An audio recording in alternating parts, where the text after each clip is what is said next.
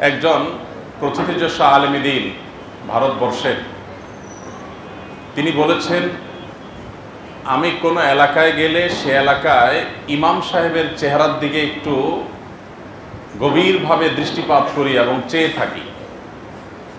কেন তিনি ইমাম সাহেবের চেহারা এত দেখেন?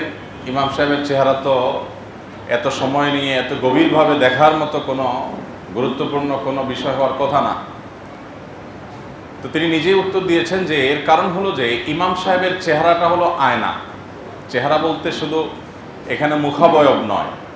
পুরো ইমাম সাহেব, ইমাম সাহেবের যোগ্যতা, তার চিন্তা, তার দর্শন, এগুলোকে তিনি একটু বোঝার চেষ্টা করেন। সে কথাটাই তিনি বোঝাতে চেয়েছেন। তো ইমাম সাহেবকে দেখে, ইমাম সাহেবকে অ্যানালাইসিস করে তার লাভ হলো, তিনি এটা দিয়ে অনুধাবন করতে চান যে এই এলাকার মানুষের ভাগ্য কতটা সুপ্রসন্ন। যদি ইমাম সাহেবকে দেখে তিনি সন্তুষ্ট হন, তখন তিনি মন্তব্য করেছেন যে, তিনি মনে করেন ওই এলাকার মানুষগুলো খুশনসিব, সৌভাগ্যবান। কারণ ইমাম সাহেব হলো এলাকার মানুষের ভাগ্যের আয়না। অর্থাৎ তাদের সৌভাগ্য, দুর্ভাগ্য, এটা ইমাম সাহেবের দিকে তাকালে বোঝা যায়।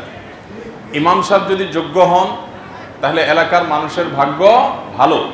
আর ইমাম সাহেব যদি অযোগ্য হন, তাহলে ইমাম সাহেবের এই অযোগ্যতার কারণে বোঝা যায় এলাকাবাসী হতবাগা আমার কথা কি আপনারা বুঝতে পারছেন?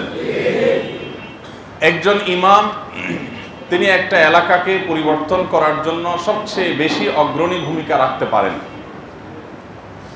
পুরো এলাকার চেহারা পরিবর্তন করার জন্য ইমাম সাহেবের ভূমিকা এত গুরুত্বপূর্ণ এত গুরুত্বপূর্ণ।